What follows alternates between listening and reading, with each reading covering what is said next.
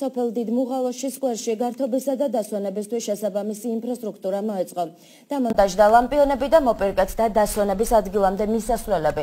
სკვერის კეთილმოწყობა ადგილობრივი ბიუჯეტიდან განხორციელდა, რისთვისაც 37093 ლარი დაიხარჯა.